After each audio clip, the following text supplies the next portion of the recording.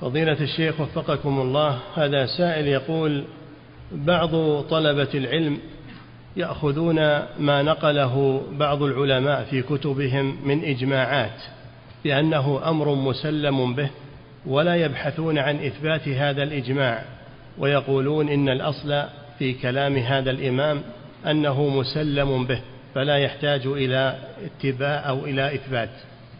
الإجماعات لها كتب لها كتب معروفة يرجع إليها ولا يؤخذ دعوى الإجماع من غير رجوع إلى الأصل.